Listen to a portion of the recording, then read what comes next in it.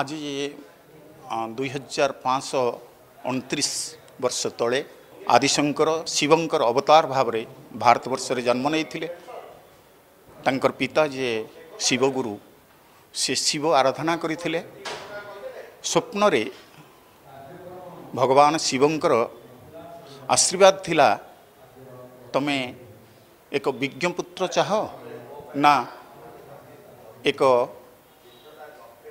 ଦୀର୍ଘାୟୁ ପୁତ୍ର ଚାହ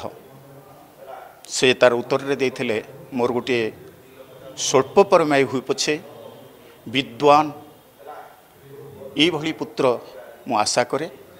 ଯାହାକି ସେଇଭଳି ଏକ ପୁତ୍ର ଜନ୍ମ ନେଇଥିଲେ ଭାରତବର୍ଷର କେରଳ ରାଜ୍ୟର କାଲାଡ଼ି ଗ୍ରାମରେ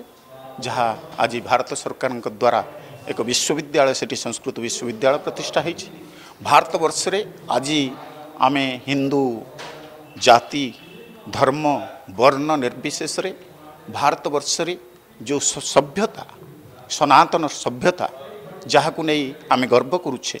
ता केही भारतवर्ष प्रतिष्ठा गरिनः प्रतिष्ठा गरिहेले आदिशङ्कर आमे विशेष भावना ओडिया गर्वकु आज आपो श्री जगन्नाथ मन्दिर श्री जगन्नाथको चतुर्धा मूर्ति देखुन्छ सूर्ति पुनः प्रतिष्ठा गरििरेप गुटै समय श्रीमन्दिर भितरे रत्न सिंहासन उपरे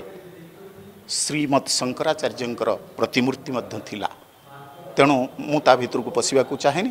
किंतु ये इन् इतिहास सही उद्देश्य रे विभूतिको उद्देश्यले बही आज उपरे आमर जे आन्तर्जातिक वास्तुवित डक्टर मनोज लेंका ତାଙ୍କ ଦ୍ୱାରା ବାସ୍ତୁ ବିଚାର ପୁସ୍ତକଟି ଆଜି ଏହି ଅବସରରେ ଆମେ ଉନ୍ମୋଚନ କରିବା ସହିତ ସେହି ବାସ୍ତୁବିତ୍ ଯିଏ ସେ ମଧ୍ୟ ଆଦିଶଙ୍କରଙ୍କ ପ୍ରତି ଗୁରୁ ସ୍ୱାମୀ ନିଶ୍ଚଳାନନ୍ଦ ସରସ୍ୱତୀ ଯିଏ ବର୍ତ୍ତମାନର ପୀଠାଧୀଶ୍ୱର ଅଛନ୍ତି ପୁରୀ ପୀଠର ତାଙ୍କ ପ୍ରତି ଏକ ସମର୍ପିତ ପ୍ରାଣ ସେଥିପାଇଁ ତାଙ୍କୁ ଆଜି ସମ୍ବର୍ଦ୍ଧିତ କରାଯାଇଥିଲା